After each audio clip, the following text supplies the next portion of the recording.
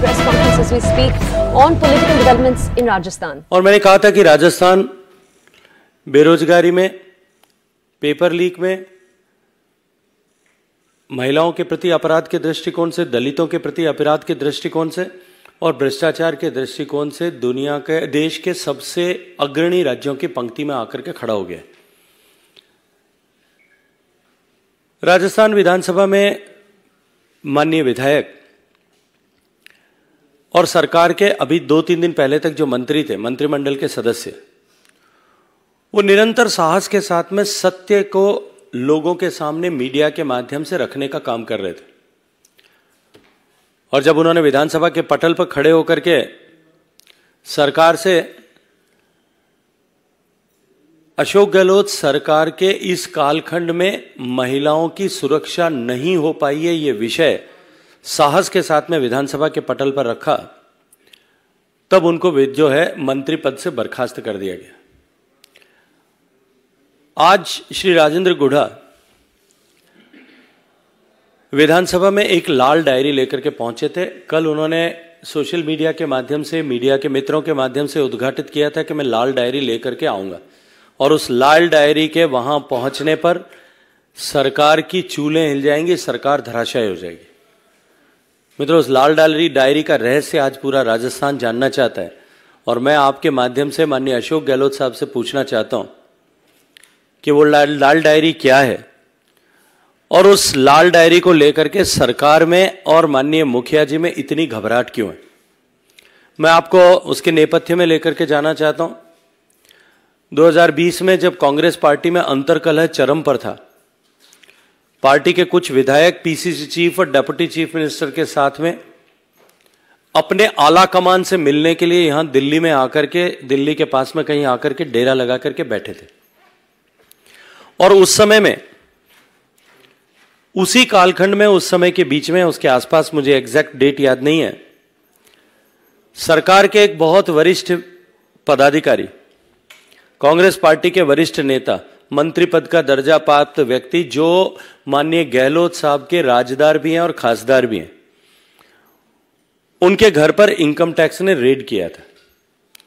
और उस रेड में, अखबारों में ऐसा छपा था कि उस रेड में एक लाल रंग की डायरी और कुछ आपत्तिजनक दस्तावेज़ उस समय रिकवर किए गए थे। राजस्थान पुलिस की मिलीभगत से उस समय राजेंद्र गुढ़ा जी जो विधायक थे और माननीय गहलोत साहब के कृपा पात्र थे, उन्होंने खुद कल कहा है कि मेरी ज़िंदगी की सबसे बड़ी भूल है कि मैंने विश्वास किया। वो अपने पचास सौ साथियों के साथ में जाकर के वहाँ इनकम टैक्स के अधिकारियों से जबरन वो लाल रंग की डायरी छीन करके लेकर आए थे। और ऐसा माना जाता है, उन्होंने जैसा कहा है कि उस डायरी में गहलोत साहब के बहुत सारे राज जो हैं छिपे थे। इस लाल डायरी का रहस्य क्या है? इसको आप राजस्थान का प्रत्येक व्यक्ति जानना चाहता है। और मुझे तो समझ नहीं आता कि एक लाल रंग की डायरी, जिसको लेकर के आज जब राजेंद्र गुढ़ा जी वहाँ विधानसभा में पहुँचे थे, तब जिस तरह से उनसे डायरी को छीनने के लिए कांग्रेस के नेताओं में होड़ मची थी, और जिस तरह से जबरन उनसे डायरी छीन करके फाड़ने की कोशिश की गई, कहीं ना कहीं दाल में कुछ लाल है कि नहीं, काला ज़रूर है। और जैसा उन्होंने कहा है, आज उनके कहे के अनुरूप मैं राजस्थान के माननीय मुख्यमंत्री जी से प्रश्न करना चाहता हूँ कि माननीय मुख्यमंत्री जी, आपसे राजस्थान की जनता ये जानना चाहती है, राजस्थान के मतदाता ये जानना चाहते हैं कि वो लाल डायरी क्यों आपने राजेंद्र गुढ़ा जी को भेज करके वहाँ से जबरन अधिकारियों से छीन करके मंगवाई थी। राजस्थान के गरीब जनता के पैसे जो राजस्थान के गरीबों की भलाई के लिए बनाई गई योजनाओं में से लूटे गए थे।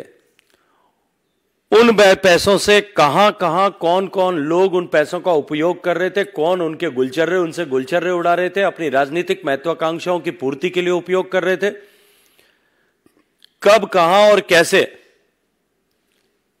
अपने राजनीतिक आकाओं को खुश रखने के लिए उन पैसों से का उपयोग किया जा रहा था, कहाँ कहाँ उनसे प्रॉपर्टीज़ बनाई जा रही थी।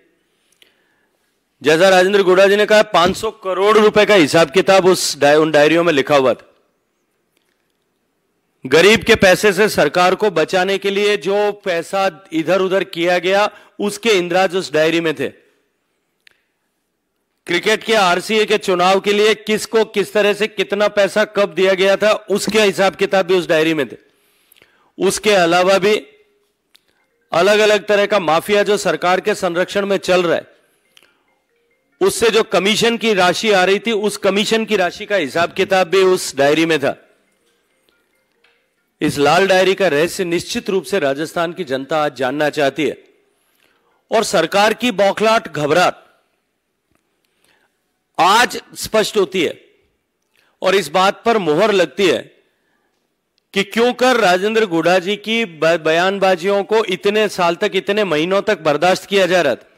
आज राजस्थान की जनता के समझ में आ रहा है कि उनके द्वारा ब्लैकमेल करके और दुर्व्यवहार जो है, कदाचार किया गया था।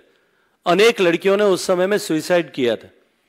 उसको लेकर के भी उन्होंने प्रश्न खड़ा किया है कि उस समय में क्यों करके वर्तमान के मुख्यमंत्री जाकर Okay, Union Minister Gajendra Shekhawat over there regarding and talking about a controversy we've seen play out right now in Rajasthan regarding Rajendra Guda, the former Congress cabinet minister in the state of Rajasthan till Friday. He was sacked on Friday after comments he made about the safety of women in the state. Now, that's all that we have for you on the show. Thank you for watching. Updates and news continues on CNN News 18 through the day.